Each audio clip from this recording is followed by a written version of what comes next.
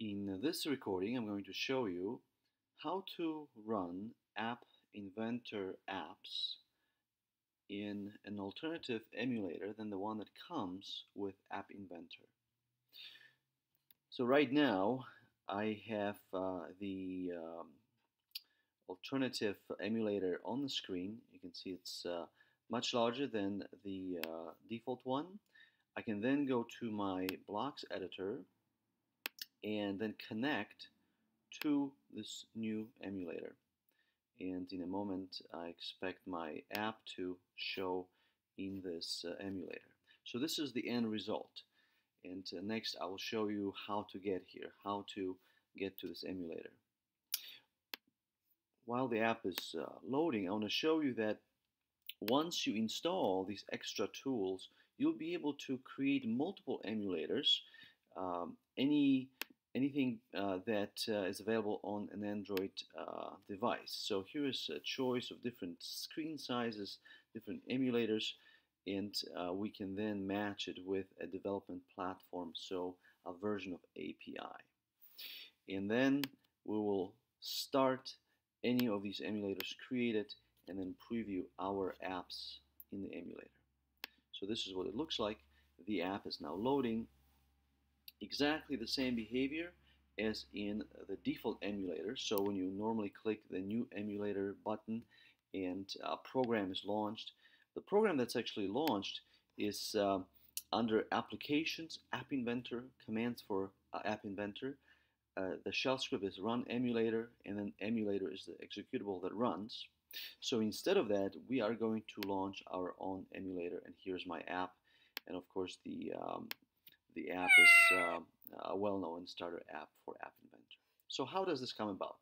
Let's go ahead and stop uh, these uh, programs that I'm currently running, and uh, I'm going to uh, back up to uh, the files which I currently um, have open. So first of all, we have to download a specific program, the Android SDK.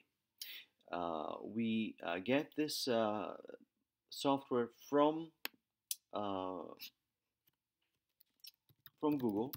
So we'll go ahead and do a quick search for Android SDK and uh, I can go ahead and navigate to the download page. Please note that by default uh, I have the offer here of downloading the ADT bundle for Mac. Uh, now you can download this. It's going to be about 400 megabytes, uh, which is uh, more than we need, uh, and it covers a development environment like the uh, Eclipse. Instead, we're going to try to download just the SDK. So we'll go to use existing IDE, and now we have a chance to download just the SDK tools. I'm running on the Mac. If you have a Windows uh, system, then you download SDK tools for Windows. We have to, of course, agree and we will uh, start start the download. This file is downloading. I actually uh, downloaded it uh, a moment ago, so we'll go ahead and go into this file. When you double click on the zip file, it's going to uh, unzip, and uh, the unzipped version of this uh, file is in this directory. You can see there are only four directories, and currently this system is limited in what it can do. So we basically downloaded the um, uh, manager for the SDK. In order to download specific APIs or specific version of Android, we have to uh, do some additional steps. So inside of the tools directory of the downloaded zip file that you have extracted into any uh, location, uh, make sure that you remember where you extracted. Often it's right in the downloads directory.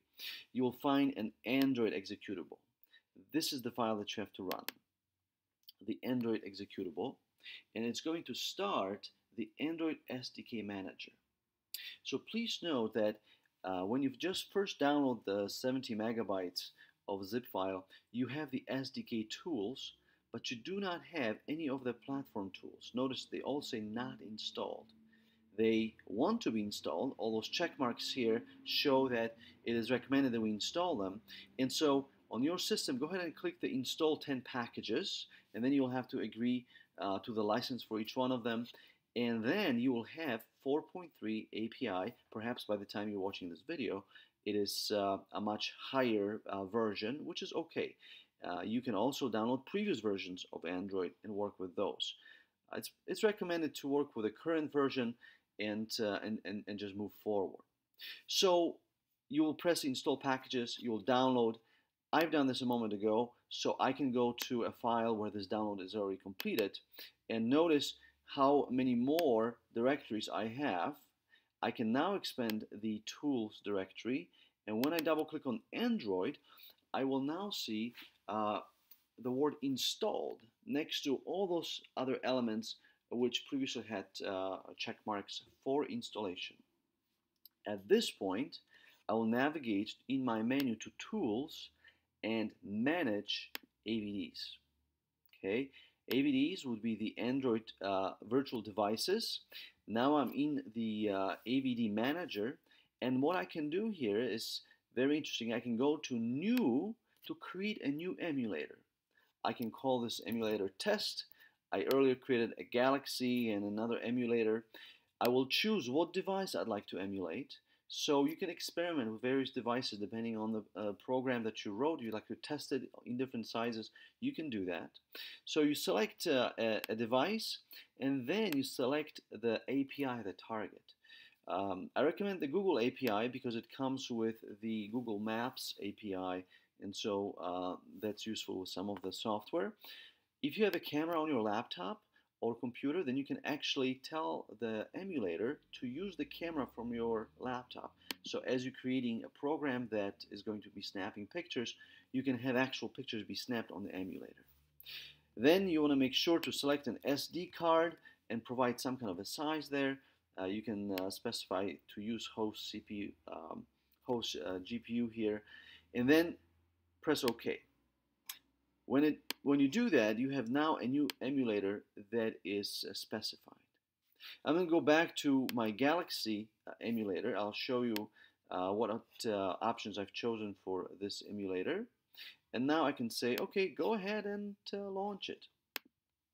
Now I am launching the emulator, which Inventor uh, environment. The Blocks Editor App Inventor will know that there is an emulator running, but it does not start automatically uh, when we say new uh, emulator. It still is connected to that small uh, little um, phone which fits on most uh, uh, screens of uh, people who are trying App Inventor. So it makes sense to, to include a small emulator there.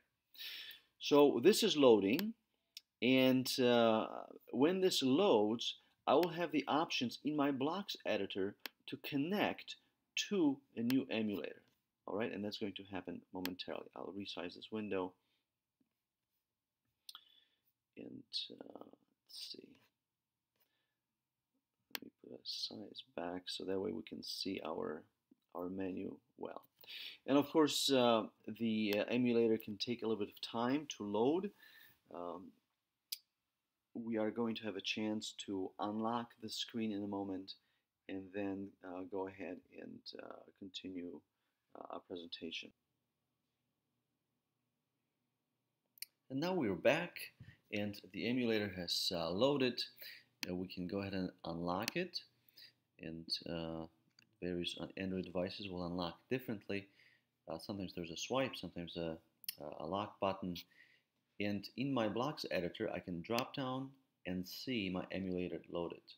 If this dropdown does not appear, just go ahead and relaunch the emulator.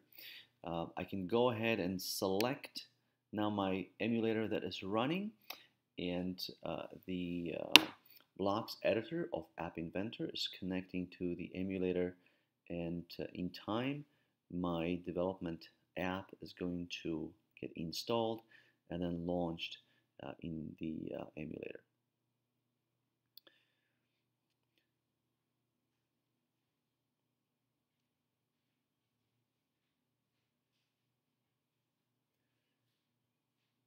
It's also uh, worth noting that uh, the uh, larger emulators um, would benefit from that GPU setting that uh, we selected when creating the emulator definition.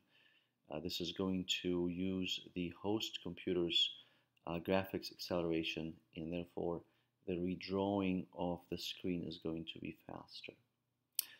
Okay, so our app is now getting launched and um, we should have our emulator up and running just as it was at the beginning of the presentation. Here's the app and uh, of course we can uh, execute it as before. Thank you very much.